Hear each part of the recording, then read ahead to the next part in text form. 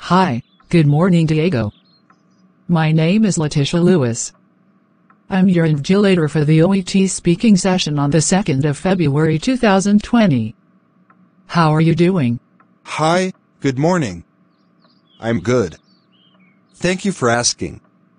How about you? Well, I'm great. Can you tell me your full name for the record, please? My full name is Diego Samuel. And what is your candidate number, please?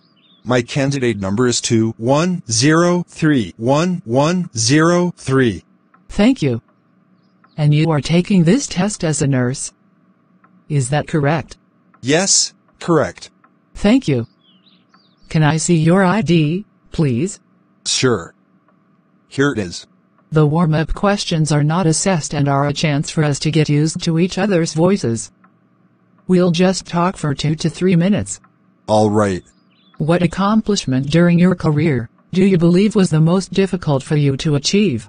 At this point in my career, I feel that the most difficult accomplishment for me to achieve was the two back-to-back promotions in my current facility. Because, promotions are granted based on results in education. I had to put in a lot of overtime hours and hustle to get there. In my current role, I manage a team of 12 advanced practitioners in the clinical setting. In this role, I mentor, coach, and evaluate their performance regularly. How do you handle conflict in the workplace? It is important to identify the persons involved and the root cause of the conflict. Then address it directly with the involved party and discuss the problem as professionally as possible. Any conflict in the workplace can impact the work and delivery of patient care. So it is important to identify it as early as possible, and both parties should work on creating a solution. What is the best way to handle a patient who is refusing their medications?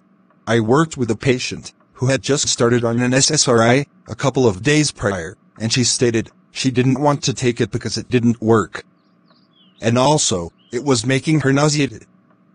Being said that, I understand it takes at least four weeks for this type of medication to work, and sometimes the patients experience temporary side effects before the desired effect.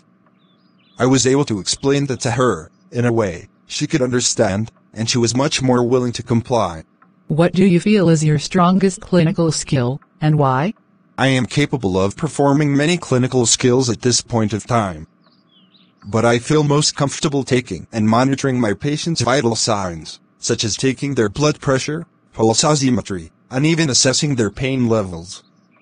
At first, it was difficult for me to trust myself in my ability to take vital signs, but through my clinical training, I became much more comfortable with myself. While this is not the most advanced skill I could have the most strength in, I feel that it gives me a good foundation to build upon as I get more experience in nursing. How do you maintain confidentiality in the workplace? To me, protecting the patient's right to privacy is extremely important, and I have a personal practice of checking in with myself to ensure that I have honored that responsibility in practice. I check in with myself a couple of times a shift, especially if I am busy, to ask if I am being mindful and responsible. If I need shift cheat sheets, I am careful not to write patient names on the paper, but maybe their initials. I am mindful of how my voice carries when I am in a patient room. I always make certain that family members in the room are allowed to hear health information before I ask the patient questions. Great. Thank you very much for sharing that. So, let's move on to role play now. I'll take the part of the patients or perhaps a relative and you'll take your professional role. The purpose of the role play is to get evidence of your ability to communicate effectively with patients. Use your ability to fulfill as much of the role play as possible. Do you have any questions? No. You have up to three minutes to prepare the role play. You will start the role play after that time. I'll let you know when three minutes are up. You can ask me if there's anything you are not sure about and you can make notes on the role play card if you want to. Here's a pencil for making notes. Thank you. You can look at the card during the test, but you must return it to me at the end of the test. Please start preparing now. Thank you.